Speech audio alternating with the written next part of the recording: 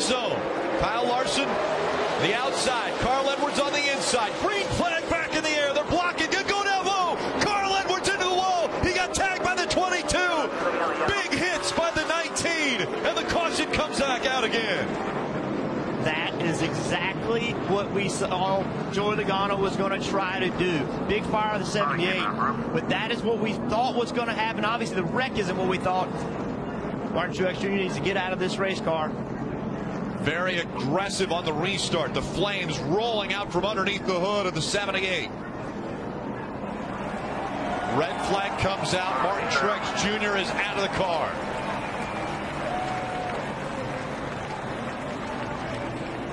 Huge contact for the 19 of Carl Edwards. First it was the inside wall, then he was hit by another car. A championship's on the line, Rick. The 22 gets a great restart. The 19 blocks. They make contact.